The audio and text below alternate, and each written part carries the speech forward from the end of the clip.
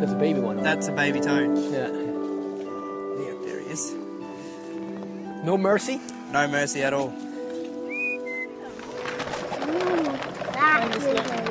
Uh, these ones are going to be taken back to um, to our freezer and frozen, and then fur- and then further on down the track they'll be taken out to Howard Springs and turned into fertilizer. We um we've got a fertilizer brand called Toad Juice. It's virtually virtually just liquefied cane toads.